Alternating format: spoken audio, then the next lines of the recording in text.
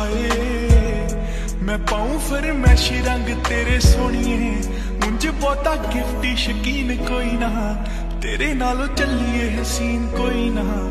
ਤਾਰੇ ਚੰਨ ਅੰਬਰ ਜ਼ਮੀਨ ਕੋਈ ਨਾ।